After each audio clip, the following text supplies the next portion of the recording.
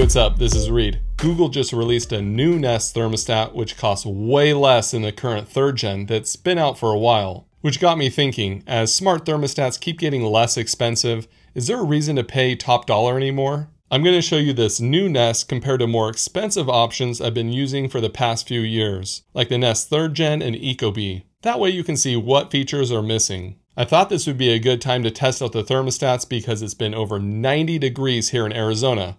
I mean, it's normal to run your AC in November, right? Okay, first let's start off by looking at the new Nest thermostat which only costs $129. That's almost half the price of the Nest 3rd Gen. It doesn't really look like a budget option, it has a mirrored finish and the display shines through. At first I thought, man, this thing looks ugly.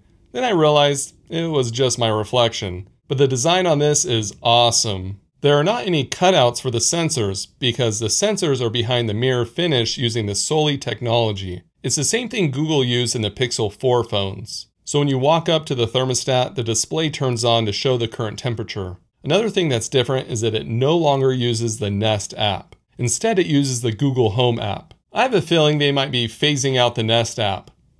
Nah, Google would never kill off something. In the Google Home app, you can do basic functions. Of course, you can change the temperature, but you can also set schedules and view an energy dashboard to see how often your system is running. You can have the system go into away mode to help save you money using your phone's location, it can also use the Soli sensor to help with this as well. Since this new Nest is made for those who haven't had a smart thermostat before, the on-screen menu is very simple. It's about as simple as you can get, but how you control it, it's a different story. Instead of the rotating ring on the previous Nest thermostats, this just has a touch sensor on the right. It works okay, but there are plenty of times where I swiped and it didn't register it, or I accidentally swiped when I didn't mean to. I'm still getting used to it, and I don't think it's very intuitive for someone like a family member who's visiting. Changing the temperature could work if someone thought it was a ring, however, I think it's one of the main weak points of this thermostat.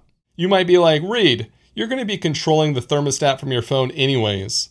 And that's true, but usability in the app isn't the greatest. Say you want to add a schedule for when you wake up in the morning. You click on Schedules and click the Add button below. Selecting the temperature only gives presets. You can create a custom preset, but it's in a different section of the app. Then after you create the preset, you have to go all the way back to finally add it. Not what I would call ideal for someone just getting started with a smart thermostat. Another way Google cut costs was by not including a faceplate. The base of the new thermostat is very small because it tapers down. Most likely it won't cover up the previous holes in the wall, so you'll probably need the faceplate. It's $15 and the price doesn't bother me, but the design of it does. The edges curl away from the wall. Most faceplates curve towards the wall, which helps it blend in. It almost looks like it's backwards, but it's not. When I was setting up this thermostat, I ran into a major issue. When it came time to connect it to the Wi-Fi, it was looking for other Nest devices, which it couldn't find any. After troubleshooting it a lot, I eventually had to create another home in the Google Home app,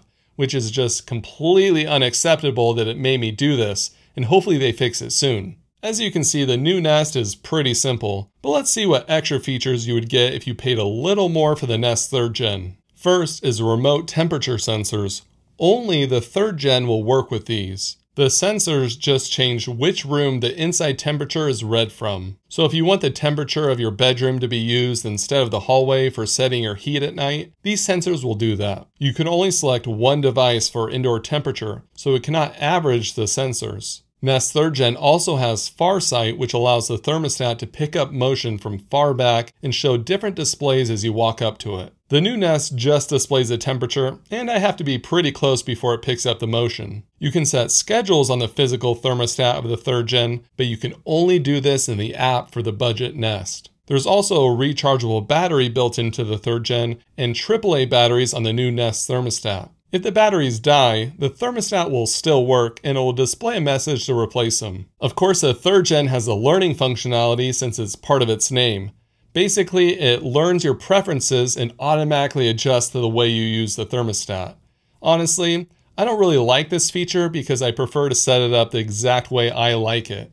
Actually, if it could learn that I don't like this feature and automatically disable it for me, that would be great. The physical ring on the third gen is more user friendly, especially for quickly changing the temperature. Lastly, the new Nest thermostat isn't going to work with as many HVAC systems as the third gen, so use the compatibility checker to make sure you can even use this. Now, if you're thinking about paying more for the Nest third gen for a more premium option with better features, wait, because the Ecobee might be a better option. It's my favorite out of these three, but it's not for everyone. Ecobee isn't as user friendly, but you have access to more advanced features. One of the settings you can adjust is the temperature swing.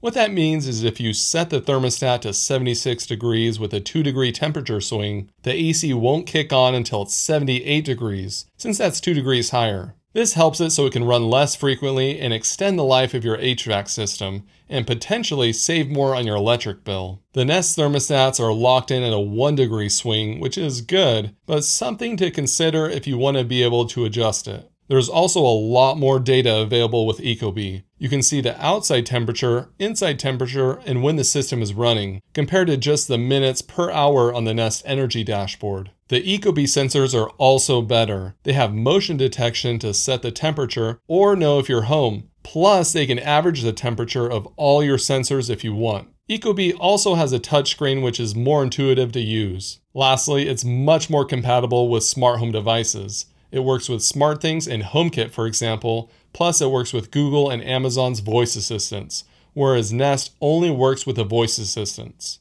All right, so now the question is, do you go with budget or premium? Well, unless you're in love with the new design and the simplicity of the new Nest thermostat, I would go with premium, especially with Ecobee. Even if you won't use all the extra features of the premium thermostat now, they're available if you need them. But the main reason is usability. The app and physical device are not easy to use on the new Nest, which you think it would be since it's made for first time buyers. Now, if the price is a major factor, or you only want to use the Google Home app and not clutter up your phone with other apps, the new Nest is a good thermostat and it looks amazing. I just think the Ecobee works much better and it's worth paying $100 more if you want. Or even the third gen, which is still a great option. I'll be doing more videos with automations and smart thermostats in the future, so subscribe if you want to see more. Thanks for watching, we'll see you again next time. Hey Allie, have you seen the... Have I seen the what? Never mind, I found it.